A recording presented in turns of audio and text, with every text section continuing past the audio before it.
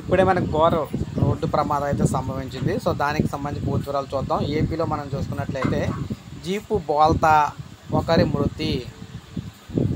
So ఇప్పుడే మనకి update అయితే రావడం జరిగింది. అల్లూరు జిల్లా పెదబయలు మండలం గలగండ గ్రామ సమీపంలో గురువారం రాత్రి ఒడిస్సా నుంచి పద్నాలుగు మందితో వస్తున్న జీపు బోల్తా పడింది.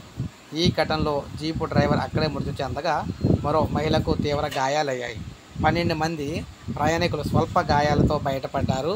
క్షతగాత్రులను పాడేరు జిల్లా ఆసుపత్రికి అయితే తరలించడం జరిగిందనమాట ఈ సంఘటన చూసుకున్నట్లయితే రాత్రికి రాత్రే రాత్రికి రాత్రి ఈ సంఘటన అయితే జరిగిందనమాట ఈ నేపథ్యంలో మొత్తం ఆ ఏరియా అంతా కూడా అక్కడ ఆ ఏరియాలో కూడా ట్రాఫిక్ అయితే కొంతవరకు అంతరాయం అయితే ఏర్పడింది. అవన్నీ క్లియర్ చేయడానికి సో మొత్తంగా పన్నెండు మంది ప్రయాణికులు స్వల్ప గాయాలతో అయితే బయటపడ్డారు. సో కొంతవరకు ఇది మంచిదని చెప్పుకోవచ్చు. ఎందుకంటే ఎవరికి ప్రాణాపాయం అయితే సంబంధించదు అనమాట కాకపోతే ఒకరైతే చనిపోవడం అయితే జరిగింది.